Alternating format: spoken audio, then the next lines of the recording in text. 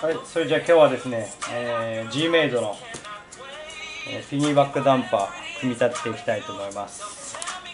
じゃあ開けていきます。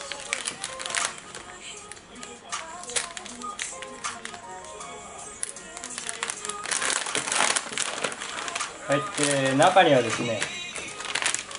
えー、内容物なんですが、えー、ダンパーオイルと、えー、ショックシャフトそれからえー、パーツですね。部品類と、えー、スプリング。それから、えー、マニュアルが入ってます。はい。こんな感じでね組み立て説明書が入ってますんで、えー、順番にこれから作業していきたいと思います。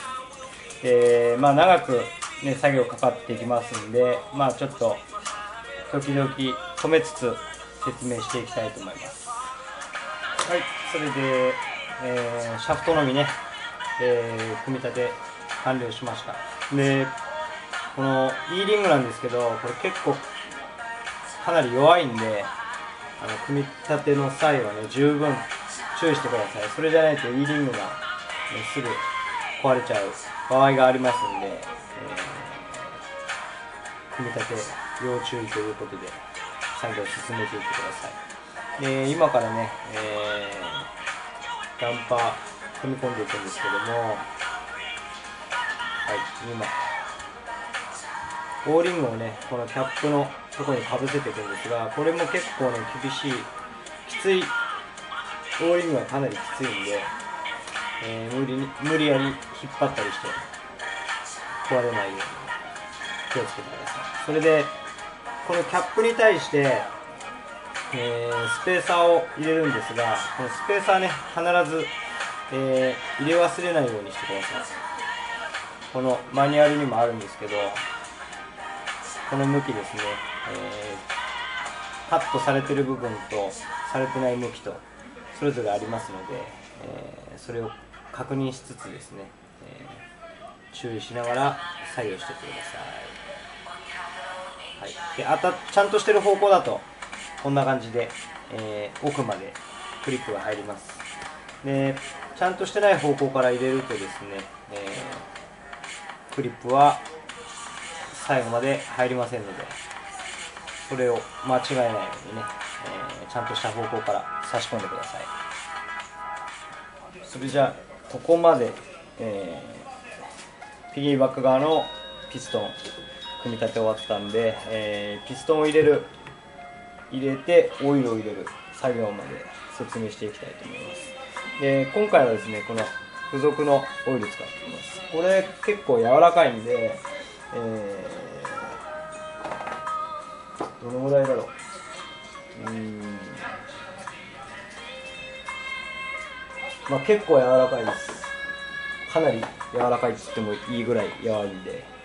それはあとね、えー、またおのおの調整していってください。でオイルは最初先ほど締めたですねこのピストンのやごめんなさいピギーバックの方の、えー、こうねちゃんとしっかりし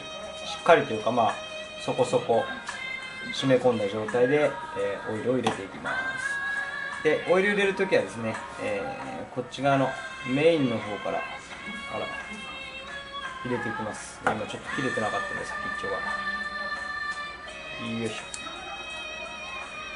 ょ。はい。こっち側から入れていきますね。お窓ですね。ちょっとよはい。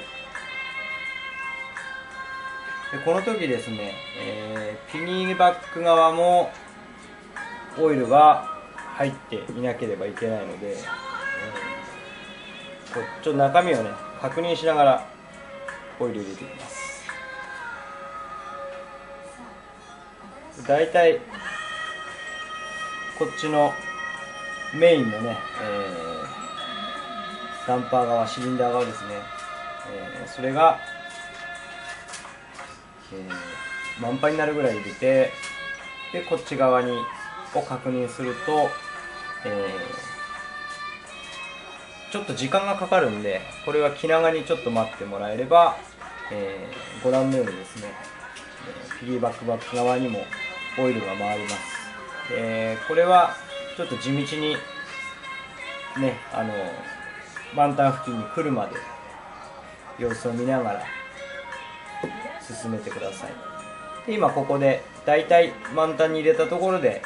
フィニーバック側もオイルが満タンになりました、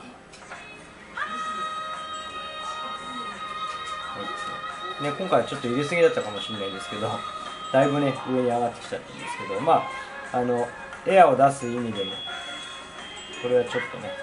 えー待って、えーこぼれたらこぼれたで別に後から拭けばいいんでまずはこれをしっかりエアが出るまで待ちます。